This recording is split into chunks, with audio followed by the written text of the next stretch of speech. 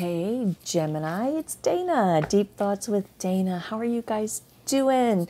It's been a minute, has it not? It has been a minute. Well, Gemini, this is a good one. It's a good one. Um, very interesting. But before I get into it, I do want to say, as always, do not ever make a life altering decision from a general tarot card reading. If you'd like a personal reading with me, you can reach me at Otherwise, this reading may resonate with you. It may not. It just depends on what your journey is. This reading lasts from when it resonates until it doesn't. It just depends on your processing abilities. Each one of these cards is a mental, emotional, or physical process, and it just depends upon how long you get through your processes, and if there's somebody else involved, how long it takes them to get through theirs. That's how long this reading is, okay? Alrighty. So, gems, here we go. Okay, I'm to try not to hit this camera because I got it all like goofy because the cards were at a weird angle, but anyway. So what I got here is two different decks, right? I have the Tarot Illuminati Old, Tried and True, and I have the Tarot Illuminati brand new ones, right? Brand new, slick, slippery. These are all like worn in and stuff, right? So what I've done is I have laid out the root cards with the new Tarot Illuminati, which is all slick and slippery, and then I clarified with the old um, Tarot Illuminati, right?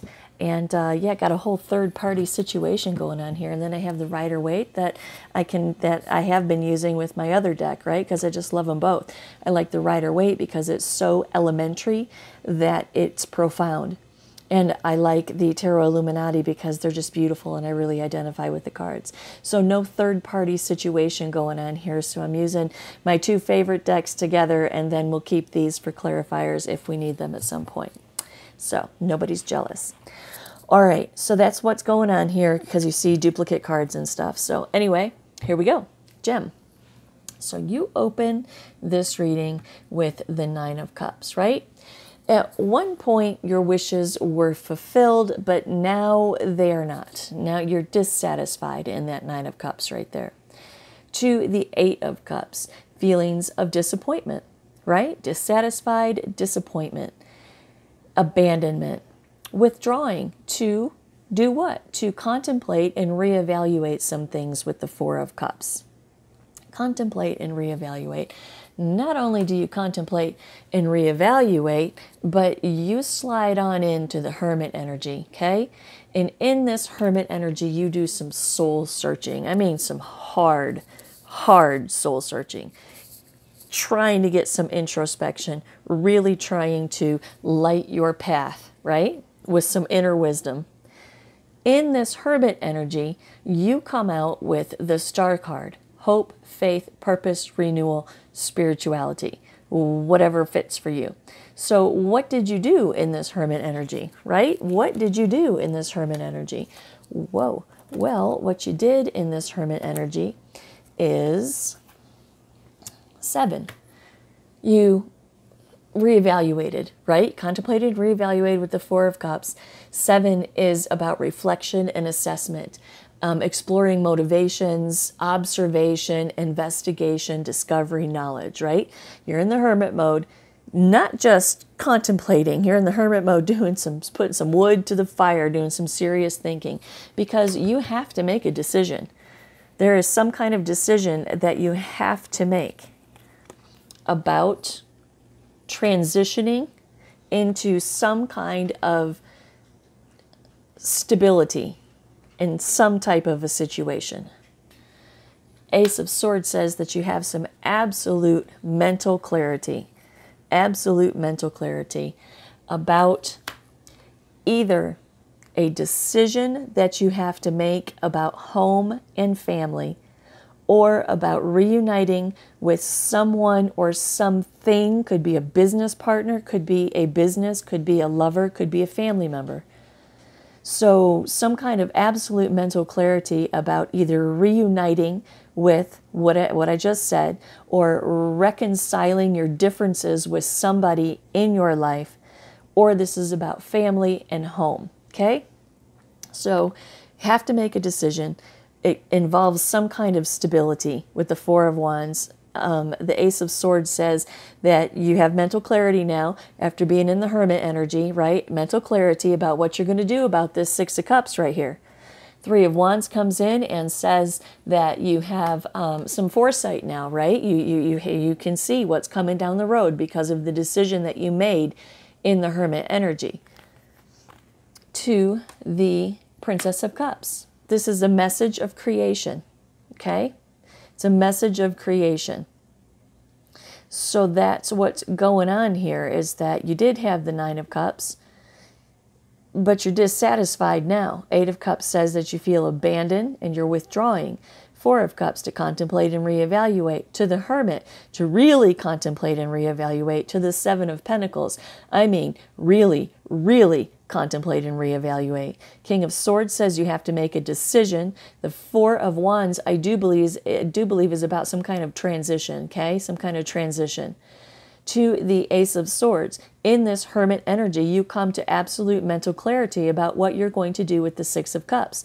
Either reunite with someone or something from your past, reunite as in haven't seen each other in a long time reconcile, as in burying the hatchet and reconciling your differences with somebody, anybody from your past, or reuniting and reconciling. I'm sorry, I'm just going to repeat that again. Or it's about your family, right? It's about family, home, children, love, right?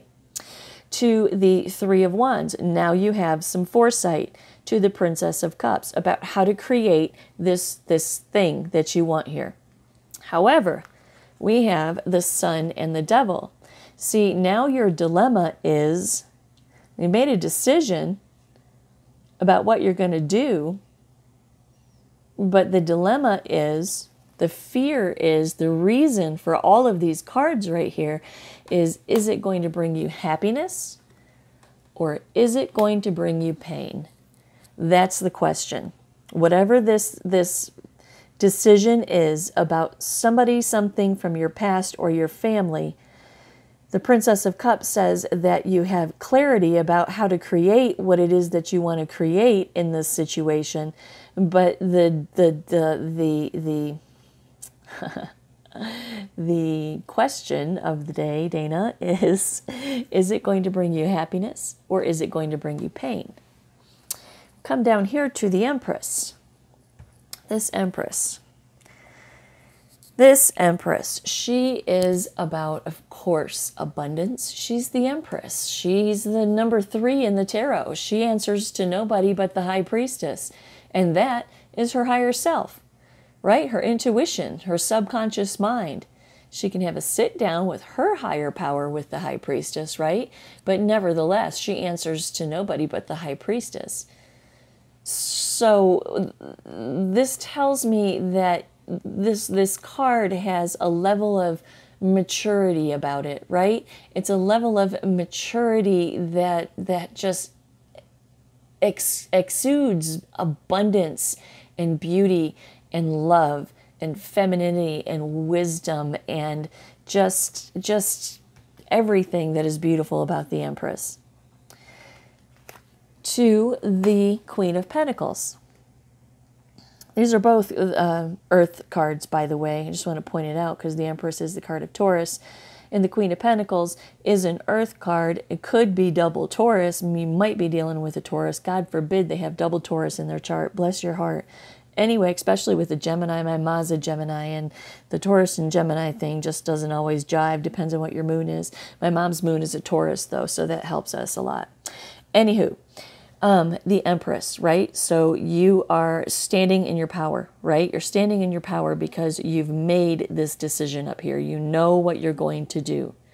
You're going to create abundance in your life. To the Queen of Pentacles, this whole thing right here has something to do with your home, home, hearth, everything that just hits us in the breadbasket that's important, right? Security, grounded um, the Queen of Pentacles, she's just an amazing woman. She's practical and she's secure. She's vigilant. She's self sufficient. She has a lot of common sense, right? So this could either be who you're dealing with here or this is telling me that the Empress is, has made this decision come hell or high water in regards to home because we had that six of cups home and family right now this it could be it could be the person that you're reuniting with or it could be something about your home okay? But the two of wands comes on top of it and says that um, well to the four of swords after much contemplation to the Two of Wands, you are beginning to plan for the future and you're making decisions, you're making progress, and you're doing everything that needs to be done to do whatever this is that you want to do here, whatever it is that you want to create with that Princess of Cups. To the Prince of Cups, this is being in touch with your feelings. This is the metaphorical knight in shining armor. And I would prefer to to uh, not have this be a love reading. Okay, so let's keep our mind off of love. But if it's love for you, definitely take it for love, okay? But I'm trying to keep it super neutral so it can reach as many people as possible. So, this Prince of Cups, it's the metaphorical knight in shining armor. It's wishes fulfilled, okay? It's also about being in touch with your emotions.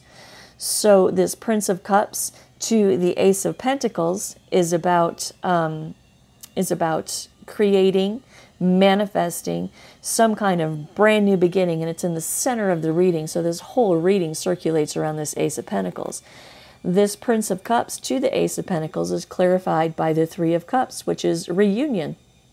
Reunion. So you fixing to get together with someone or something from your past and they are going to bring you a message of, of creating something.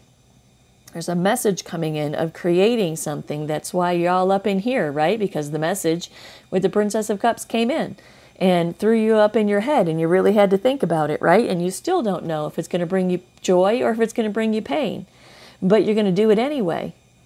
You're going to manifest a brand new beginning. You have manifested this, right? For, yeah, to the Four of Wands. This brings harmony and celebration to your home and to your relationship with whatever this is. It could be a job from days gone by, it could be anything, okay? A cousin Vinny from forever ago.